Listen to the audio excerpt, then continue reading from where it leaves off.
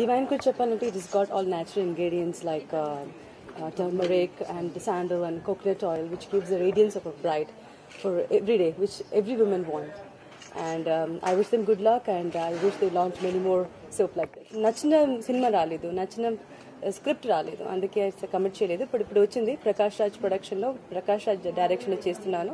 మంచి film I hope you all like it they have giving me a proper strong heroine oriented script which is which I'm I'm happy about it So I want to thank this industry for believing in me, and I want to thank all the producer and director for believing in me. And I don't think so that is going to come near future.